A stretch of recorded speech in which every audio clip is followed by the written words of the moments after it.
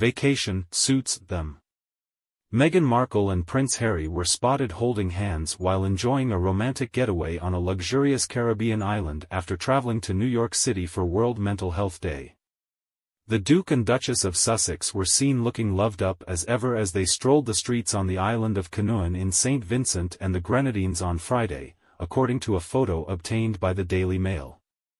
They just looked very happy to be having a holiday together, an insider told the outlet. Harry was in full vacation mode as he rocked shorts, a t-shirt, flip-flops and a baseball cap. Meanwhile, Markle looked chic in a long white knit maxi dress, sunglasses and a white sun hat adorned with a black ribbon. The source shared that the couple was seen exiting a gourmet food store in the Sandy Lane Yacht Club and Marina in Glossy Bay looking affectionate and filled with laughter.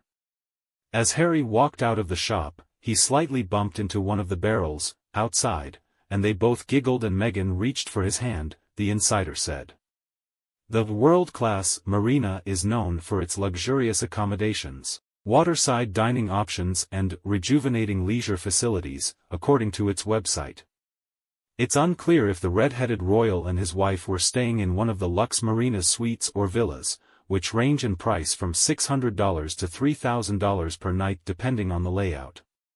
The pair enjoyed their lavish trip without their two kids, Prince Archie, 4, and Princess Lilibet, 2. On Monday, the Sussexes reportedly flew back to the United States on a private jet, landing in Atlanta, looking refreshed and relaxed.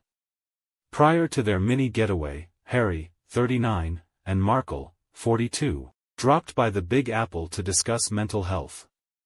During their Archewell Foundation Parent Summit, titled Mental Wellness in a Digital Age, Harry and Markle chatted with moderator Carson Daly on the detrimental effects of cyberbullying.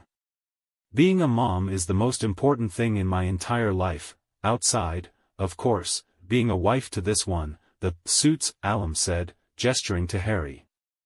But I will say I feel fortunate that our children are at an age, again quite young, so this isn't in our immediate future. But I also feel frightened at how it's continuing to change and this will be in front of us, she added. Markle has been quite busy building their Hollywood empire. Right before making her way to Manhattan, she stopped by the Beverly Hills Oat for a business lunch.